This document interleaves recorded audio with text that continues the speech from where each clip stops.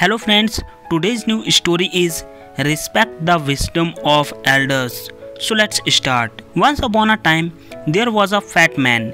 He had a strong healthy body, so much that he had to struggle a lot to get through the door of his house.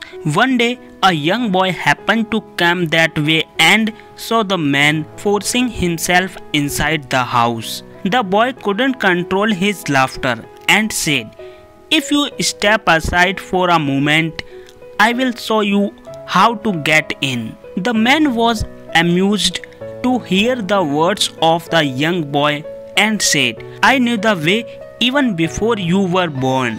The young boy had no words to say and realized his folly that he should not have advised the man who was quite older than him.